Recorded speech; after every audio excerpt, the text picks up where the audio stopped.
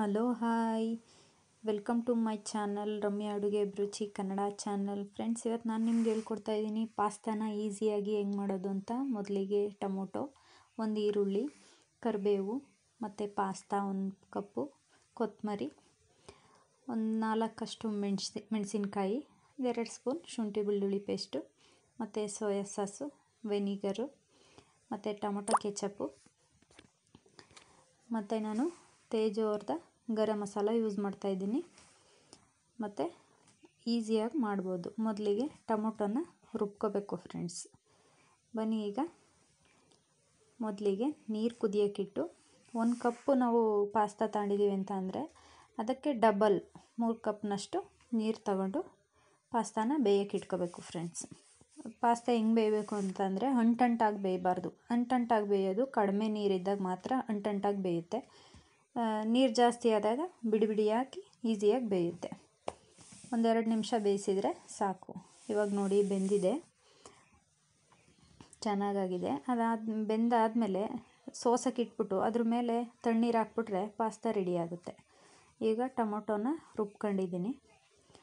Paste ಮಾಡು, ಮಾಡಿ ಇಟ್ಕೊಂಡಿದ್ದೀನಿ. ಇವಾಗ ಒಗ್ಗರಣೆಗೆ ಹಾಕೊಳ್ಳೋಣ. ಬನ್ನಿ. ಮೊದಲು ಒಂದು ಮೂರು ಸ್ಪೂನ್ ಎಣ್ಣೆ ಹಾಕ್ಕೊಂಡು ಕಾಯಕ್ಕೆ ಇಟ್ಕೊಂಡು ಮೊದಲಿಗೆ ಈರುಳ್ಳಿ ಹಾಕೊಳ್ಳೋಣ. ಚಿಕ್ಕ ಚಿಕ್ಕದಾಗಿ ಕಟ್ ಮಾಡ್ಕೊಂಡಿದ್ದೀನಿ. ನೀವು ಬೇಕಾದರೆ ನಿಮ್ಗೆ ಯಾವ ಶೇಪಲ್ಲಿ ಬೇಕು ಆ ಶೇಪಲ್ಲಿ ಕಟ್ ಮಾಡ್ಕೋಬೋದು. ಮತ್ತು ಕರಿಬೇವು ಹಾಕೊಳ್ಳೋಣ. ಒಂದೆರಡು ಸಲ ಕೈ ಆಡಿಸೋಣ, ಫ್ರೈ ಆಗಲಿ ಅಂತ. ಅದಾದಮೇಲೆ ಮೆಣ್ಸಿನ್ಕಾಯಿ ಕಟ್ ಮಾಡ್ಕೊಂಡಿದ್ದೀವಲ್ಲ ನಾವು, ಉದ್ದುದ್ದಕ್ಕೆ ಕಟ್ ಮಾಡಿದ್ದೀನಿ. ಯಾಕೆ ಅಂದರೆ ಸಿಗಲಿ ಬಾಯಿಗೆ ಅಂದರೆ ತೆಗ್ದಾಕಕ್ಕೆ ಈಸಿ ಆಗುತ್ತೆ ಅಂತ. ಮತ್ತು ಪೇಸ್ಟ್ನು ಹಾಕೊಳ್ಳೋಣ. ಎಲ್ಲನೂ ಒಟ್ಟಿಗೆ ಮಿಕ್ಸ್ ಕೊಡೋಣ.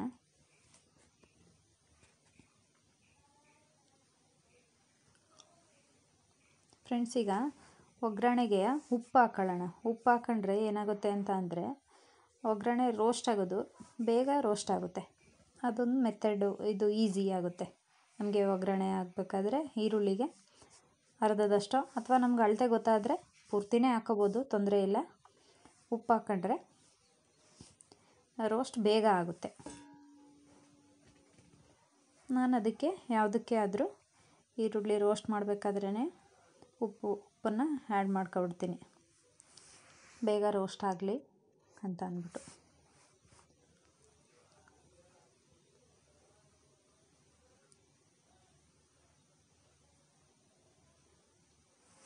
ಈಗ ಸ್ವಲ್ಪ ಎಲ್ಲನೂ ಮಿಕ್ಸ್ ಕೊಟ್ಟು ಕೈ ಆಡಿಸ್ತಾ ಇರೋಣ ಅವಾಗವಾಗ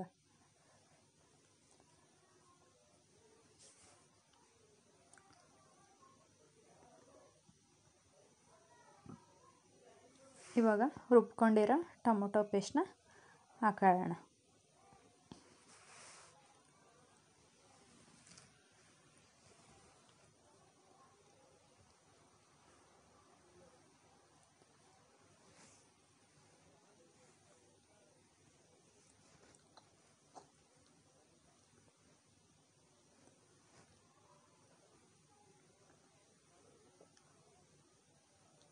ಈಗ ಒಂದು ಸ್ಪೂನಷ್ಟು ಗರಂ ಮಸಾಲ ಹಾಕೊಳ್ಳೋಣ.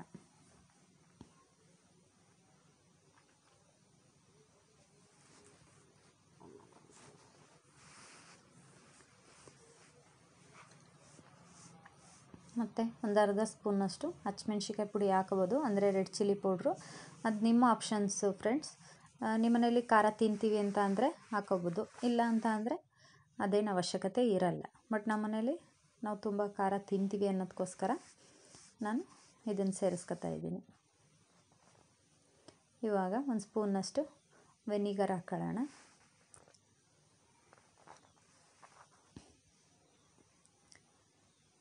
ಮತ್ತೊಂದು ಅರ್ಧ ಸ್ಪೂನಷ್ಟು ಸೋಯಾ ಹಾಕೊಳ್ಳೋಣ, ಸೋಯಾ ಸಾಸ್ನ.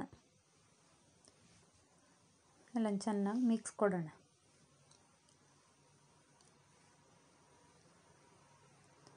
ಇವೆಲ್ಲ ಹಸಿ ವಾಸನೆ ಹೋಗೋ ತನಕನ ಚೆನ್ನಾಗಿ ಕೈ ಆಡ್ತಾ ಇರೋಣ. ಅವ್ನು ಕುದಿ ಕುದೀಲಿ ಅದು.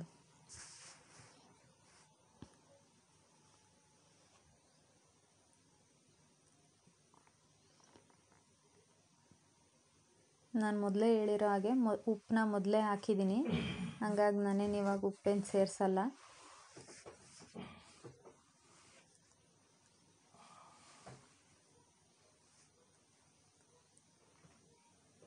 ನೋಡಿ ಇವಾಗ ಕುದೀತಾ ಇದೆ. ಆ ಎಣ್ಣೆ ಎಲ್ಲ ಸೈಡಲ್ಲಿ ಬಿಡ್ಕೋಬೇಕು ಒಂದೆರಡು ನಿಮಿಷ ಮುಚ್ಚಿ ಕುದಿಸೋಣ.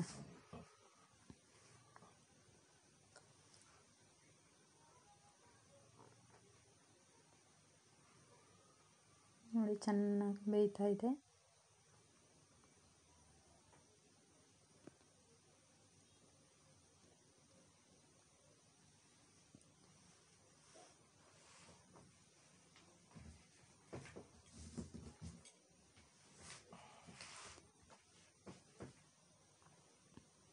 ಮತ್ತು ಒಂದು ಸ್ಪೂನಷ್ಟು ಟೊಮೊಟೊ ಕೆಚ್ಚಪ್ಪ ಹಾಕಿ ಮಿಕ್ಸ್ ಕೊಡೋಣ. ಇದೇನು ಬೇಯಿಸೋ ಅವಶ್ಯಕತೆ ಇಲ್ಲ, ಲಾಸ್ಟಲ್ಲಿ ಹಾಕಿದ್ರು ಆಗುತ್ತೆ.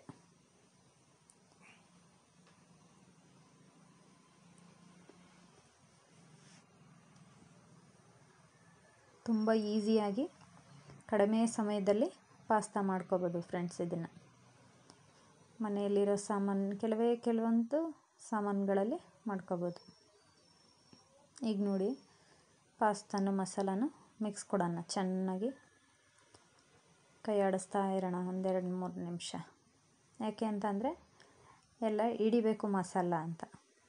ಅಂದರೆ ಮಿಕ್ಸ್ ಚೆನ್ನಾಗಿ ಕಾಣಿಸುತ್ತೆ. ಏ ಕಡಿಮೆಯಾಗಿ ಬೆರೆಸಿದ್ರೆ ಸ್ವಲ್ಪ ಕೋಟಿಂಗ್ ಎಲ್ಲ ಕಡಿಮೆ ಆಗುತ್ತೆ. ಒಂದು ಕಡೆ ಅಟ್ಟಿರುತ್ತೆ, ಒಂದು ಕಡೆ ಅಂಟಿರಲ್ಲ. ಚೆನ್ನಾಗಿ ಮಿಕ್ಸ್ ಕೊಟ್ಟರೆ ಎಲ್ಲ ಕಡೆಗೂ ಮಸಾಲ ಹಿಡಿಯುತ್ತೆ ಅಂತ.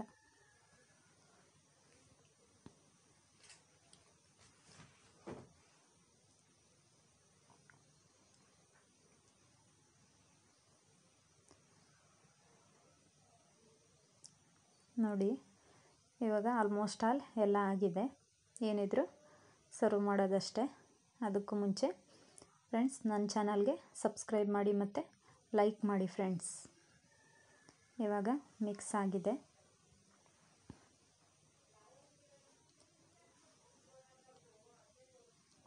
ಲಾಸ್ಟಲ್ಲಿ ಕೊತ್ತಂಬರಿನ ಹಾಕ್ಬಿಟ್ಟು ಮತ್ತು ಇನ್ನೊಂದೆರಡು ಸಲ ಮಿಕ್ಸ್ ಕೊಡೋಣ.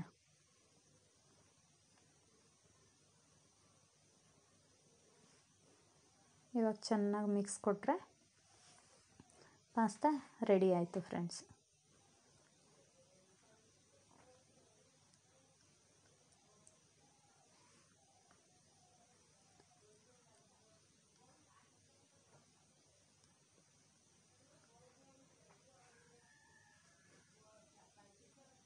ನೋಡಿ ರೆಡಿಯಾಗಿದೆ ಎಲ್ಲ ಕಡೆ ಕೋಟಿಂಗ್ ಆಗಿದೆ.